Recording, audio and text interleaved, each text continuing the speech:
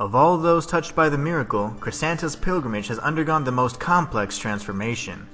Once the greatest threat to the penitent one on his path to complete absolution, she would eventually become his ally and destroy those who she blindly served and worshipped along his side. Eons later, as the penitent one lay in his eternal slumber, she would make the ultimate sacrifice in order to prevent the cycle of pain and agony to begin anew, paving the way for the penitent one to follow upon his resurrection. But before we face off with the first of the penitents, it's time to give credit where it's due. Kudos to Huka Alves 172 for locating the Easter egg hidden in the last thumbnail. If you look closely, you'll notice that the traitor is hidden in the bottom left hand side of the border. If you're new to the channel, I've started playing a game with viewers where I hide an Easter egg in the thumbnail of each of my videos. The first person to state what and where it is in the comments gets a shoutout in the following video. Now, back to the matter at hand. After the destruction of the High Willows by the hands of both the Penitent One and Crisanta, the influence of the capricious miracle faded into oblivion. All things touched by its grace simply ceased to exist. The Penitent One was no exception, and as such he died along with the miracle that had granted him the power to return from the dead. Custodia would eventually be lost to the annals of history after centuries had passed, but Crisanta stood ever vigilant, knowing that something evil stirred in the clouds above. After the appearance of the heart in the sky, Crisanta understood this manifestation for what it was.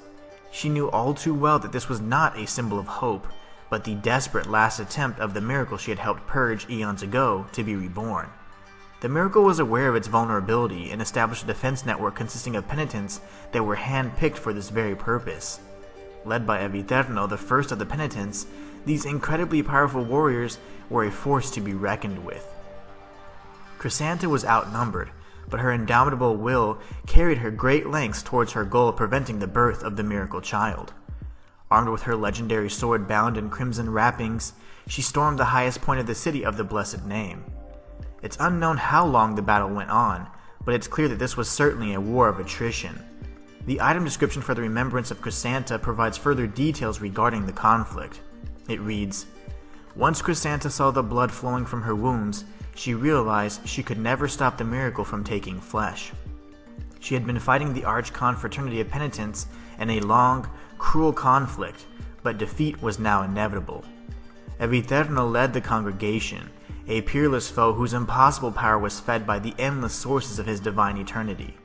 The miracle had chosen him to be the protector of its new work, after it bestowed upon him the original penitence, that of perpetual contemplation.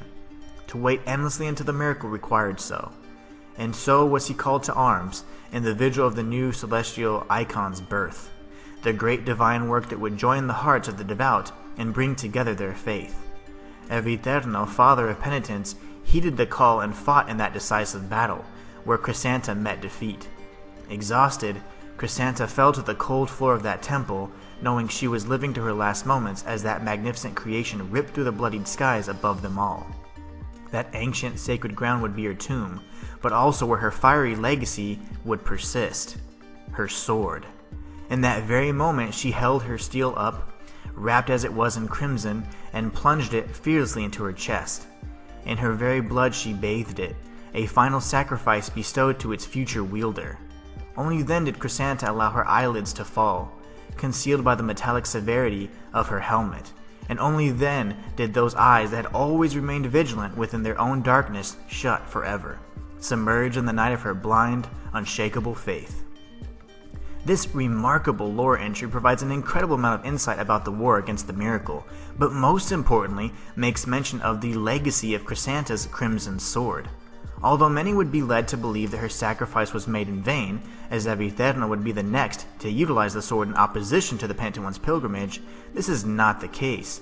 The future wielder referenced in the flavor text of Crisanta's remembrance was actually the Penitent One himself, who would eventually plunge the sword into Eviterno's heart, ending his penance of eternal contemplation.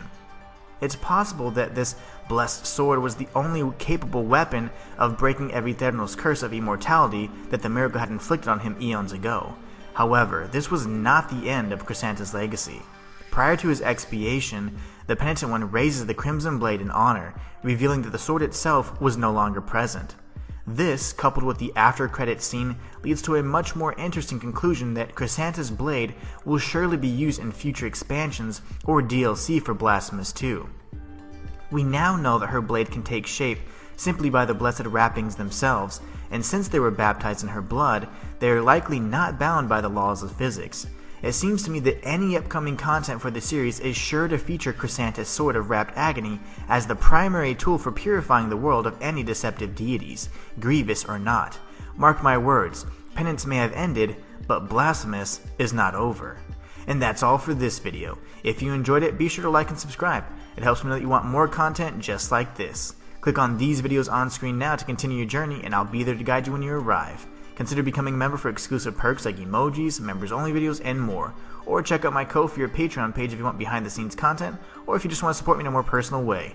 Until next time, it's the Inhuman One signing out. Join the Inhuman community today.